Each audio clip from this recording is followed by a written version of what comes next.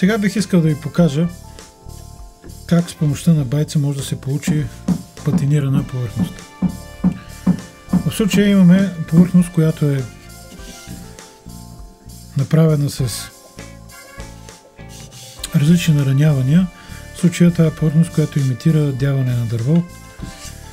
И а, когато искате да направите нещо по-рустикално, където повърхността е неравна, ще ви покажа техника с нашия байц, където може да се постигне ефекта на патиниране.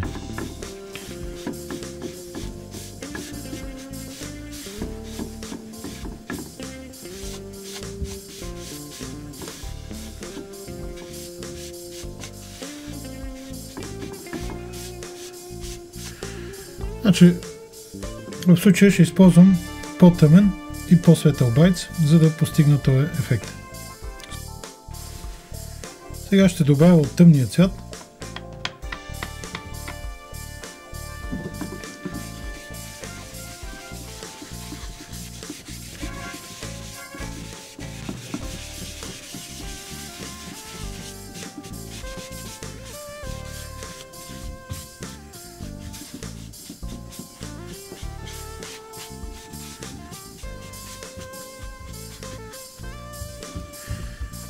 След което ще изчакам да изсъхне. Повърхността вече е изсъхнала и аз започвам да я шлаквам с трупче с мека шкурка, за да може тя да се спуска по различните неравности.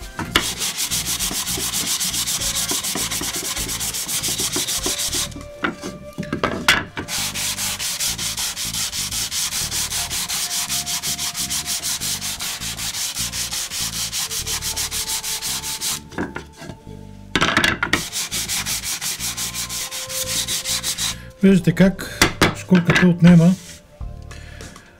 байца от високите места, остава в ниските. Сега виждате, без да има нужда да шлайфам, без да има нужда да зачиствам праха, т.е. без да шлайфам повече, без да зачиствам праха, аз директно ще мина с по-светлия байц, като целта е да нанеса минимално и да забърша бързо.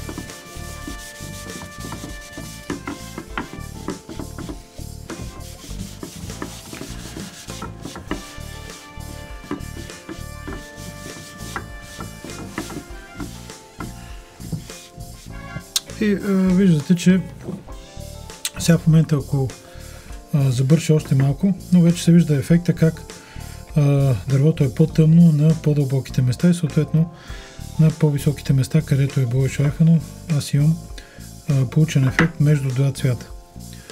А, за да подсиля този ефект, това, което мога да направя, е мога да взема малко стърготини и да забърша допълнително. Траготините, освен че имат добра побивателна способност, те също така полират дървото. Когато се трие дърво в дърво, дървото се полира. И това прави по-хубав окончателния финиш. Сега в момента имаме една петинирана повърхност, която върши добра работа за а, някаква старена повърхност, която искаме да направим. След като това изсъхна, вече може да приложим ваксата. Но, междувременно, искам да ви покажа една силно наранена повърхност, при която този същия ефект аз ще искам да го постигна, но само с един цвят. За да видите, че не е нужно да имате два цвята. Виждате как нанасенето с гъбичка и притискането й в дълбоките места прави много лесно проникването на байца в дълбоките места в повърхността.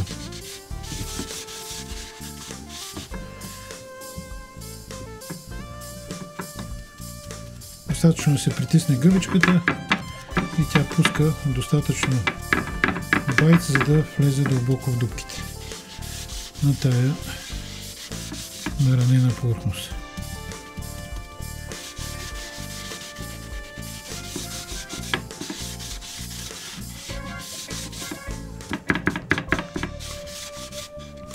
След което ще изчакаме повърхността да изсъхне.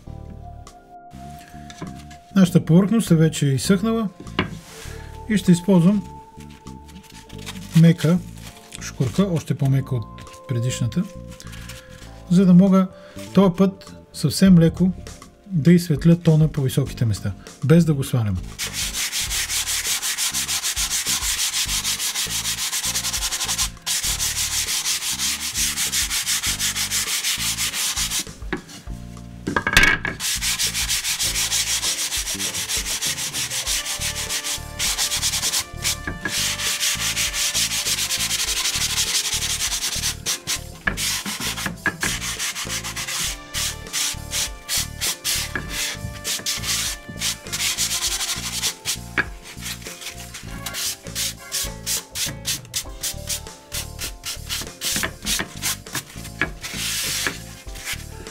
Така, виждате повърхността и светля.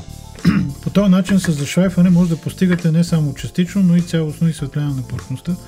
Ако имате нужда, ако примерно прецените, че е станало твърде тъмно, с леко финно зашлайфане ви може да изсветлите повърхността без да се налага да го изшлайфате и наново да го да нанасите по-светъл цвят.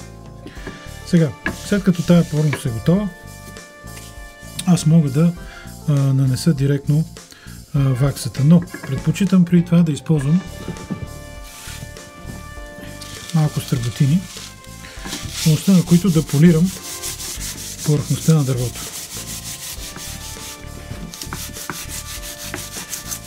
В случая стръготините са от а, много финно настроен нож на редето и те позволяват а, много финно финна обработка на повърхността. Това, което на английски се нарича burnishing и на български аз не знам да има альтернативен термин. Но в момента ни полираме повърхността чрез триенето на дървените сръготини в дървената повърхност. Така, след като това е направено. Сега тук се вижда, че по някаква причина се изгуби от цвета в тая точка. Съвсем лесно мога да го нанеса и да го забърша. И след това дори да като е важно, мога съвсем леко да, да зачистя и да го еднаквя. Сега в момента вече тази повърхност е готова за налагане на окончателния слой. В нашия случай аз ще използвам вакс от кърнуба. Отново с гъбичката намазвам повърхността на гъбичката с вакса и с втриване започвам да нанасям ваксата. Виждате, че се получава този състарен ефект. Вече изпъква съвсем, вдига се контраста. Точно това, което се случва при нанасене на ваксата. Вдига се контраста на било на цвета, ако е един цвят, ако е композиция от цветове, както в случай имаме два тона на един и същ цвят, получаваме една неравномерна повърхност, която имитира състарено дърво. Това е напълно произволно направен модел на наранено дърво, който а, ви може да го направите според вашите нужди, но за мен целта беше да покажа как с един байц могат да се получат няколко тона в няколко а, равнини. Това е един вариант и това е другия, на който също ще нанеса вакса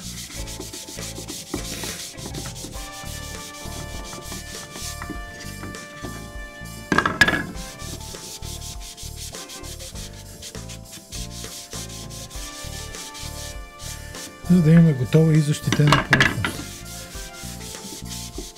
След нанасяне на ваксата, може да изчакате половин час, да нанесете още една ръка или можете да полирате с вълнен или парцал или микрофибърна кърпа.